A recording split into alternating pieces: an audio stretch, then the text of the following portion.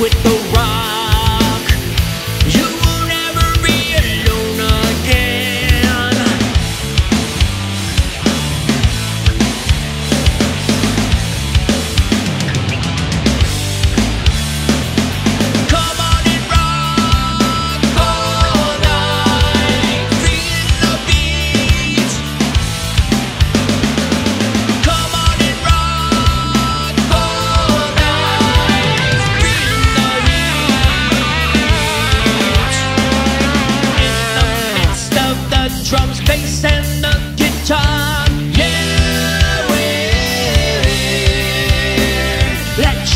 This is the one that gives you the strength to